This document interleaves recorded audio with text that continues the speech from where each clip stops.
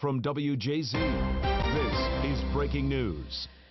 Hello, everybody. Welcome to those of you watching on CBS News Baltimore and on WJZ TV. Well, if you saw smoke across Baltimore City this morning, it was from this fire at the Anchorage Marina in Canton. Several viewers sent us this video as it was happening.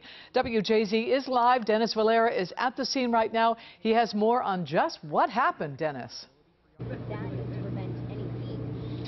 Denise, fortunately, no one got hurt in any of this. The what caused this fire, it's still under investigation. Now you can see one of the damaged boats over my shoulder here. A crew is on it right now. It is heavily damaged. The other boat involved in this fire, it has submerged in the water and we were here when that happened. The fire was completely out when that happened. Now the fire department used a lot of their marine resources in this firefight, including their dive team. Multiple agencies responded to this as well, including the Coast Guard and State Departments of Environment and Natural Resources. With the fire out, the concern now lies with environmental impact, particularly with the boat that sunk in the water.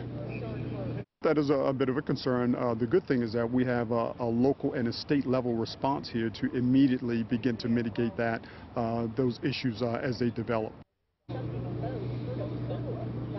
Mayor Brandon Scott stopped by earlier to thank first responders for their work in putting this fire out. Reporting live in Canton, I'm Dennis Valera for WJZ. Thank you, Dennis. That could have been a lot worse. All right.